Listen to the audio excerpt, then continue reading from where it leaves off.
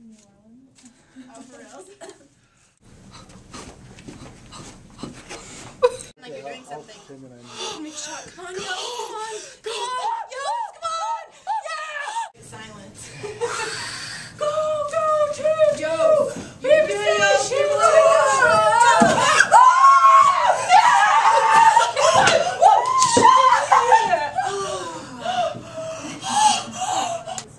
Yost, man, how does it feel to be the champion? Feels great. Feels really good. Did a lot of hard work this season. Um, it definitely paid off.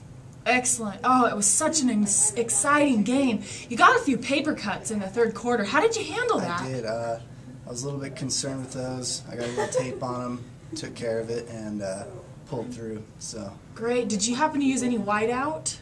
uh, no, no whiteout this time. Super glue? Super glue a little bit. Tape the fingers up. Okay. All right. Excellent. Wow.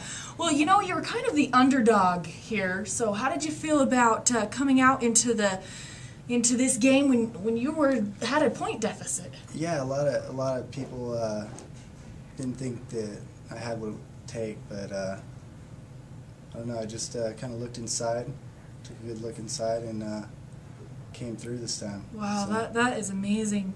You know, um, you started out the season with a one in four uh, game score chance, and, and how did how did you find? You said you looked inside and dug deep. What did you find down there? yeah. Um, well, what I found was um, that I had a lot more ability than really what I what I thought. So I just uh, I took that and brought it to the next level, stepped it up, and uh, came through this time. So. Wow, those paper cuts really showed you you bled purple. That was awesome. Wow. Oh yeah. Wow, super proud. Hey, well, t- last question. Tell us what you would say to those detractors out there that think that waste ball is lame or isn't quite popular. What do you say to those types of people? You know, you, you just got to look to the to the future. Um, it's going to be a really popular sport in the next few years, and uh, everybody's going to be jumping on the bag, bandwagon. So um, I don't know. I, I think it's a fun sport, and uh, I think it's going to get really popular in the next few years. So Folks, this is Yost. He has just won the waste basketball championship of the world here at Weber State University.